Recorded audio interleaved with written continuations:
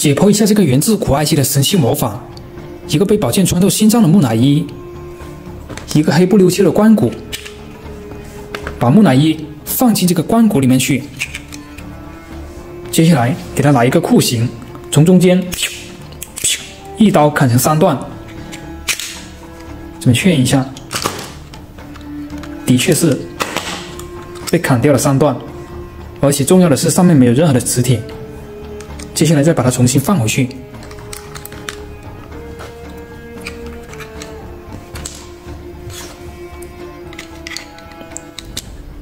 重新放回去之后，再给它合回来。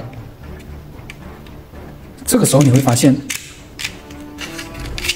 木乃伊竟然神奇的复原了，而且上面没有任何的裂痕，没有磁铁，这是怎么做到的呢？